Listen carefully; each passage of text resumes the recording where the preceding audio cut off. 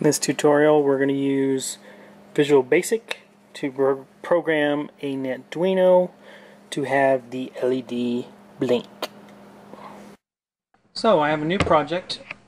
It's called Blink and I have already opened up the project properties under micro framework I've made sure it's using the USB and it's looking at my Netduino device and also I've checked my references. I'm using version 4.2 of the framework right now and that's uh, what's on my Netduino so everything's good there.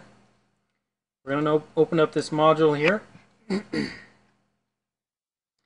Alright so we want the LED to blink on and off. So first we're going to have to define the LED so with the VB you have to dimension all of your variables. So we'll do a dim LED as, and it's going to be an output. So out, and I'm going to hit tab. Now that we have our LED, we can go ahead and set it up. It's going to be a new instance of out output port. By the way, this output port comes out of these uh, references here. And we're going to say, um, you wouldn't know this, uh, but you're just going to have to remember you have to type pins dot. Now we can select the Netduino hardware.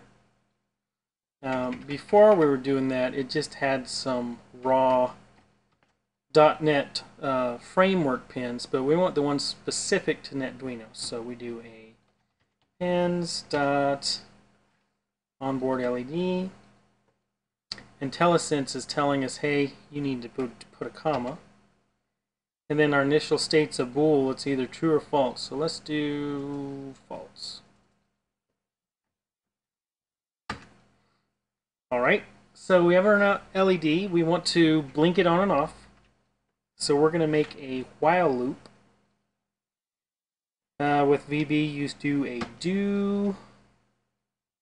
I'm just hitting a tab here because I agree with what it says. There we go. While tab. And I want a true. Enter. So with these loops, what you would normally do, instead of true, you might say, hey, do while x um, equals uh, z. But, you know, we aren't evaluating. We just want this thing to go over and over and over. So we're going to say do while true. All right. So we're going to take our LED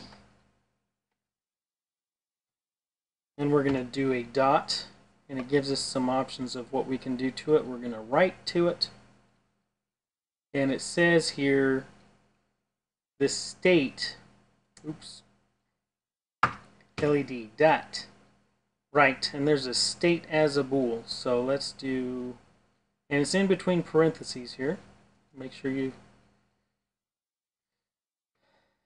Don't forget that.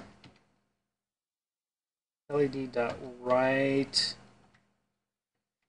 And then our state's going to be true. Alright, and then we're going to wait for a while and then we'll turn it off. So with um, .NET Micro Framework,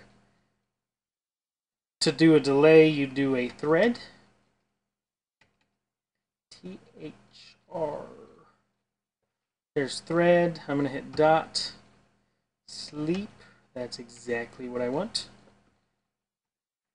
Alright. It says, hey, so we want milliseconds timeout as integer in here. So an integer doesn't have periods. We'll just do a thread.sleep.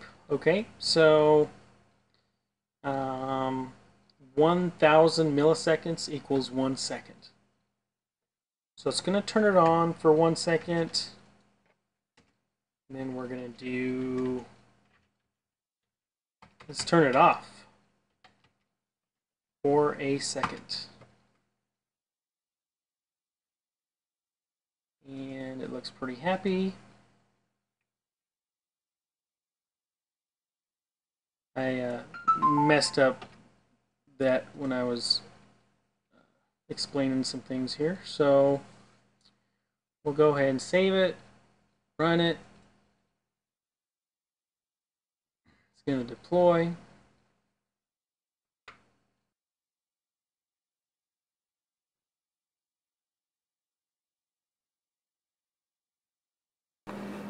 We have a successful Netduino Blink application.